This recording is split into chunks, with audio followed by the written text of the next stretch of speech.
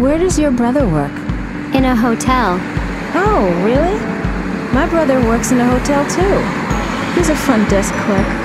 How does he like it? He hates it. He doesn't like the manager. That's too bad. What hotel does he work for? The plaza. That's funny. My brother works there too. Oh, that's interesting. What does he do?